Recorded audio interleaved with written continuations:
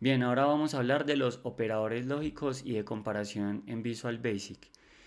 Resulta que cuando aprendemos un lenguaje de programación, los operadores se convierten en herramientas a tener muy presentes. Esto hace parte misma de la sintaxis del código, igual que las estructuras de condicionales y de bucles.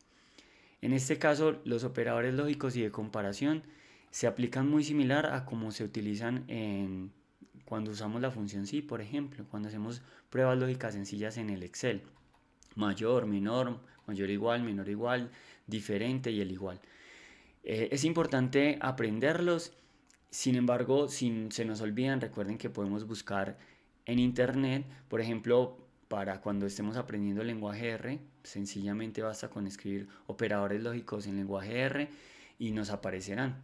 En ese caso también en cuanto a los condicionales podemos verificar varias condiciones en simultáneo utilizando AND. También podemos utilizar OR. Recuerden que el AND, que significa ahí, se refiere a que se cumplan todas las condiciones, el OR a que se cumpla al menos una de todas y el NOT sería como una negación, ya lo vamos a ver.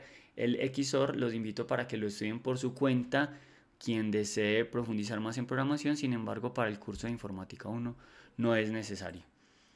Miremos el AND. El AND entonces, por ejemplo, si tenemos dos variables, la A y la variable B, y queremos validar si la variable A es igual a 4 y la variable B es mayor a 5, entonces lo escribimos con un AND. Esto haría parte de la sección donde se escribe la condición. Si queremos es que al menos una de las dos se cumpla, lo hacemos con un OR. El NOT en ese caso lo que hace es una negación, es decir, si queremos mirar que A no sea igual a 4, entonces escribimos not A igual a 4. Pero para que no se enreden, basta sencillamente con escribir A diferente a 4, que es mucho más sencillo.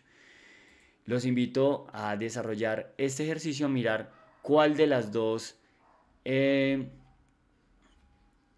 macros permitiría obtener como resultado un cumple y cuál un no cumple cuál de los dos códigos dará como mensaje cumple, por qué. Analícelo, tómese el tiempo y bueno, los invito a continuar con el siguiente video. Hasta pronto.